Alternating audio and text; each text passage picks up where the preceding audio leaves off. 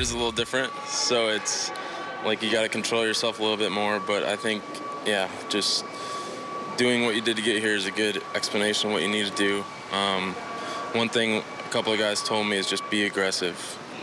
Don't baby anything, just be aggressive and go right after him. At this level, I feel like with the ball, my ball cuts a little bit more. Um, so it has a little bit more deception, a little bit more life on it. Um, I like throwing it up in the zone uh, in my counts, better counts for me, um, just because it has that late action. I can sometimes throw it by guys, but uh, yeah, other than that, I keep it down and um, try to force ground balls. We're so obsessed in this sport with 96, 98, 100 because so many guys can do that. Right. If you're a guy that's on the other end of the spectrum and, and you're still pretty, pretty good fastball here, you have to make it work with what you can do, right? Exactly. Yeah, like I said, mine cuts a little bit, so I got to use that to my advantage and control that and put it in spots where it's not going to be right down the middle.